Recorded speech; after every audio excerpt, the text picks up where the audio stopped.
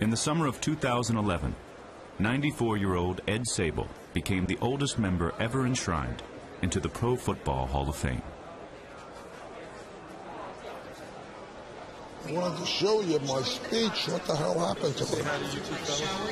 Hey, Don't get up. the commissioner.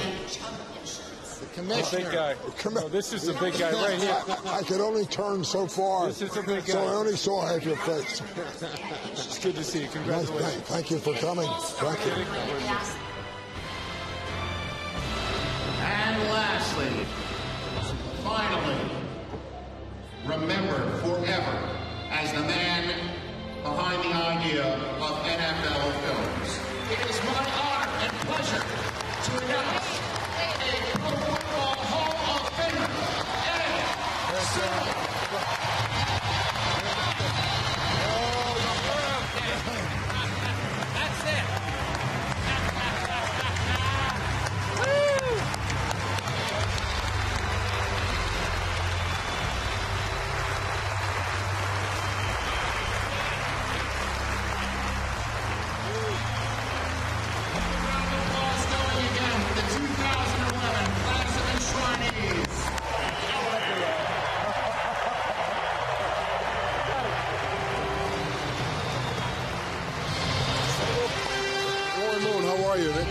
Good to meet you, and congratulations on your night tonight.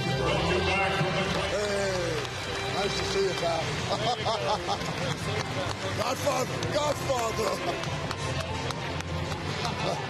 we got to do it again for the cameras. I mean man. I mean.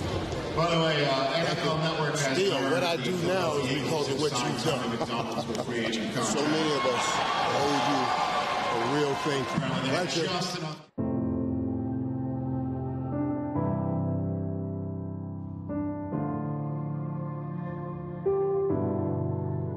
This was a moment 50 years in the making. And it was fitting that Sabol's NFL career ended with a Hall of Fame jacket. Because that's exactly where his story starts. Five decades earlier, he wasn't only wearing jackets, he was selling them. When uh, I married my wife Audrey, her father had a very successful overcoat manufacturing business. And so I started following him around the factory. He never really actually asked me to join the company, but my mother in law said, You just keep walking around with him. I kept walking around with him for 15 years. every weekend my grandfather used to come over and eat dinner with us and he would be get my dad in the corner and he'd be telling about this and you got to do this and and you could just see my dad was so was so bored with it and he'd see me over in the corner and my grandfather would be like this and my dad would look at me and then he'd go you know he'd make these funny faces. Of course my grandfather he didn't even know it but to me that epitomized my dad's feelings towards selling overcoats. He found it boring it was unfulfilling and he was a showman at heart and his hobby was movies. Home movies at the time but you could see that that's what he really wanted to do I started with a gift, a wedding gift uh, of a little 16 millimeter camera about that big. And I started taking pictures with it, and I just got enamored with it. I thought it was a fabulous thing. Coming out of the house, going down the steps, getting in the car, getting out of the car, going up the steps, getting in the house. I must have shot that uh, every day for, I don't know. And then everything Steve did, I shot. I don't remember my father having a head in those days. It was just this, this, these arms and this metal camera on top of his shoulders. My first pony ride, my first haircut, uh, my first football game. My dad filmed me. Steve was playing at Haverford School, and I would go down there and shoot the practices, and then I go up in a building and shoot the games and give the film to the coach. And the coach, he never had that done before and loved it, so uh, I kept shooting. My grandfather got to the point where he was going to retire. And by this time, he'd figured out that he was not going to turn the business over to my father. So what he did was sell the business. My father took that money and he bought a Mercedes, he bought two horses, he bought a new home, and he did exactly what my grandfather was concerned about that he was uh, squandering all the money. But at one point, my dad decided now he wanted to create a business. And what better business did he know than making movies? So he decided to make his hobby his profession. Sabol named his new film company after his daughter, Blair. Finding an exciting subject matter was not as easy. I uh, went to New York and went to the uh, Bahamas Tourist Board, and I presented them with an idea to make a film touring the Bahamas in a little single-engine airplane. Nothing spectacular, but at least I got enough money to buy a couple more lenses. And then I had some friends at the uh, aquarium that opened in Philadelphia, and they were talking about trying to get a little whale in the aquarium. And I spoke to them about, hey, how about if I go up to Nova Scotia and try to catch a little whale up there and then bring it down to you? And they said, great idea. I didn't even catch a herring. I couldn't catch anything. That was the end of my whaling trip. Moby Dick, that's what I should have called it. Chasing white whales suited Sabol, and he was about to reel in the biggest catch of his life on a subject he had already been filming for 15 years. Being the thinker that he was and the visionary, it was easy for him to make the leap from the little boys team to the National Football League. I thought, well, there's the top, boy. If you could shoot football for the National Football League, that would be something. I had found out through a little research that the previous year, Telra got the bid for $2,500. So I said, look, I don't want to mess around. I want this badly. I'm going to double that. I'm going to put in a bid for $5,000. Put the check in the envelope, went up to the meeting, gave it to the commissioner.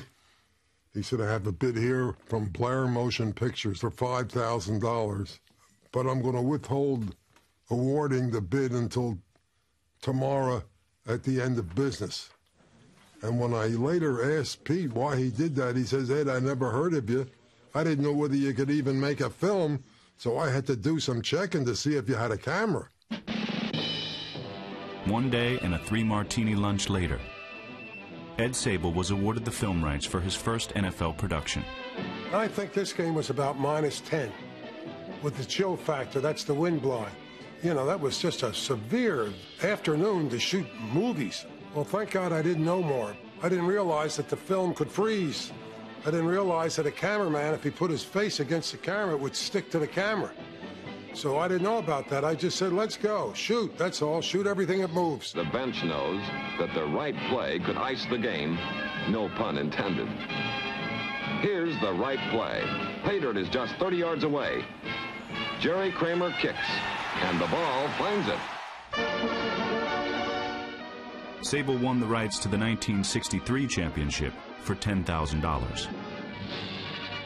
In 1964, the price was $20,000.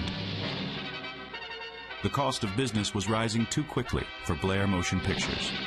So I went to Pete Rozelle and I said, Pete, I think the National Football League has to start their own film company. And I said, I even have the name NFL Films. They said, fine. Since that day, NFL Films has proven Emmy worthy and Ed Sabol Hall of Fame worthy.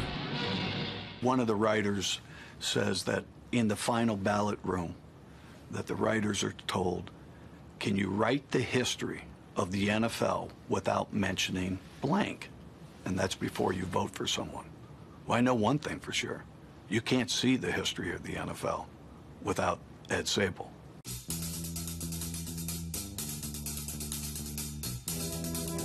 The music, the interesting camera angles make it more compelling for me than, than watching an actual game.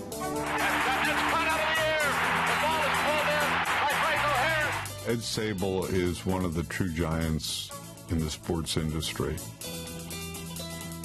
Without him, you wouldn't have these iconic heroes.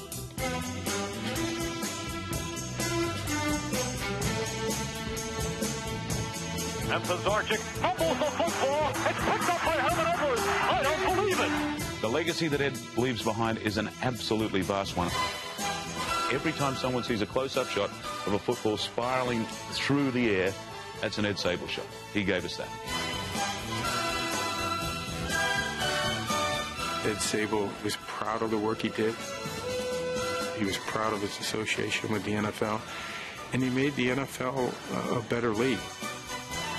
That's a great legacy. Montana rolling out the right, looking toward the end zone, throwing under pressure, throws his pass, caught by Clark.